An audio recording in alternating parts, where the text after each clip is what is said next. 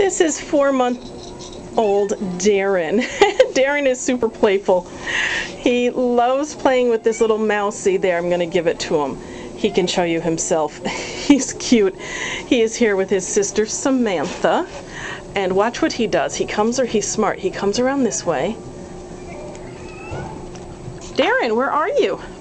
Where's Darren? Oh, there's Darren. There you are, baby.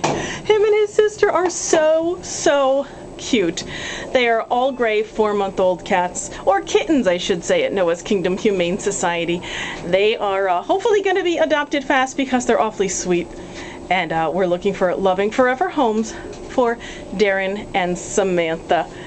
Thanks for watching.